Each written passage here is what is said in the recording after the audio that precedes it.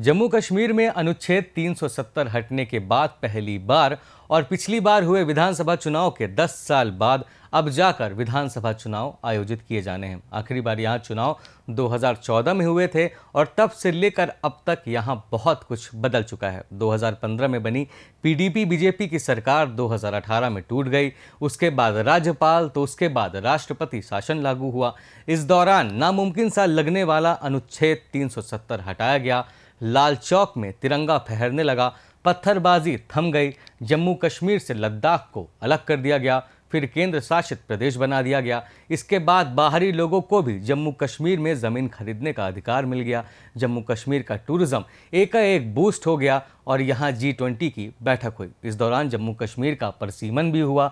2014 में जम्मू कश्मीर में लद्दाख की चार सीटें मिलाकर सतासी विधानसभा सीटें थीं। लद्दाख के अलग होने के बाद सिर्फ़ तिरासी सीटें बची और परसीमन के बाद सात नई सीटें जोड़ी गईं, जिनमें छः जम्मू और एक कश्मीर में बढ़ाई गई अब जम्मू कश्मीर में टोटल 90 सीटों पर चुनाव होंगे।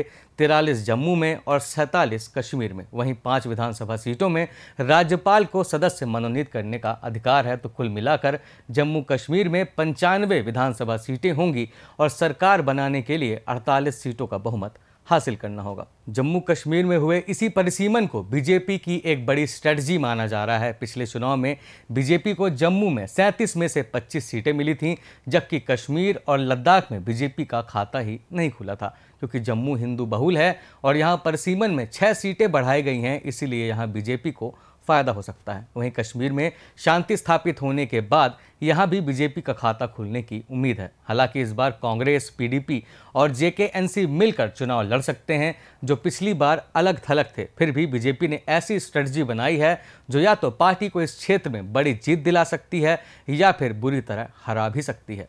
बीजेपी जम्मू कश्मीर चुनाव में अनुभवी और वरिष्ठ नेताओं को नहीं, बल्कि 25 से 40 साल की उम्र वाले ऐसे युवाओं को अपना उम्मीदवार चुनेगी, जिनका बैकग्राउंड किसी राजनीतिक परिवार से न जुड़ा हो। और ये उम्मीदवार समाजसेवी विसल ब्लोवर एथलीट्स और कला संस्कृति से जुड़े हुए हों। ऐसा करके बीजेपी जम्मू कश्मीर के यूथ वोटर्स को अपनी तरफ़ आकर्षित करेगी। इससे उन लोगों को भी राजनीति में आने का मौका मिलेगा, जिनका दूर दूर से पॉलिटिक्स से कोई कनेक्शन नहीं था। इससे राज्य में एक अच्छा संदेश भी जाएगा।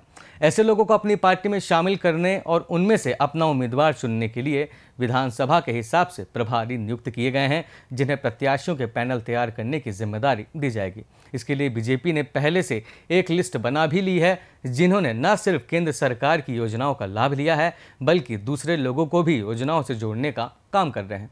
ऐसा माना जा रहा है कि जम्मू कश्मीर की जनता अब यहाँ की क्षेत्रीय पार्टियाँ, जैसे महबूबा मुफ्ती की पीडीपी और उमर अब्दुल्ला की जेकेएनसी पर दिलचस्पी नहीं दिखा रही है। ऐसे में इस बात की संभावनाएँ ज़्यादा हैं कि जम्मू कश्मीर की राजनीति में नए लोग आएँ और घाटी की पुरानी अलगाववादी सियासत को बदलकर राज्य को विकास के रास्ते पर ले जाने का काम करें। वहीं इस बार कांग्रेस से अलग होकर गुलाम नबी आज़ाद अपनी डेमोक्रेटिक प्रोग्रेसिव आज़ाद पार्टी से अपने उम्मीदवारों को उतारने वाले हैं, जो बीजेपी का सहयोग कर सकते हैं। हालाँकि इस पार्टी का एजेंडा वापस से 370 लागू करने का है, जो पीडीपी और जेकेएनसी का भी है। खैर, बात चुनाव के करें तो इस बार जम्मू कश्मीर में सात सीटें एससी और नौ सीटें एसटी के लिए रिज़र्व हैं। साथ ही दो सीटें कश्मीरी पंडितों के लिए हैं, जिनमें से एक महिला सीट है। हालाँकि इन दो सीटों में सदस्यों को चुनने का अधिकार राज्यपाल को है। वैसे जम्मू कश्मीर में टोटल 114 सीटें हैं, जिनमें से 24 पीओके के लिए रिज़र्व हैं। फ़िलहाल वहाँ चुनाव नहीं हो सकते, इसीलिए अभी 90 सीटों पर ही चुनाव होंगे। ये चुनाव तीन फ़ेज़ में होंगे।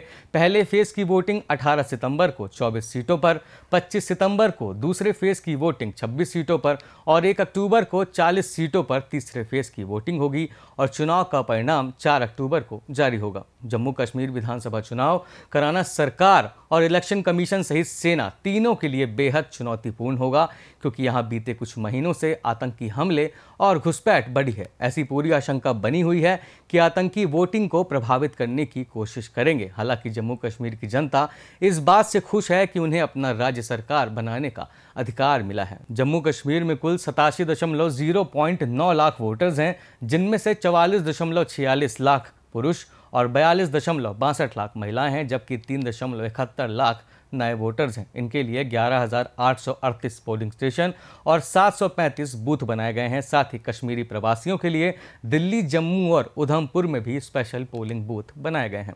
ये जानकारी आपको कैसी लगी हमें कमेंट करके ज़रूर बताएँ और ऐसे ही कंटेंट्स के लिए शब्द साची के साथ बने रहें। धन्यवाद।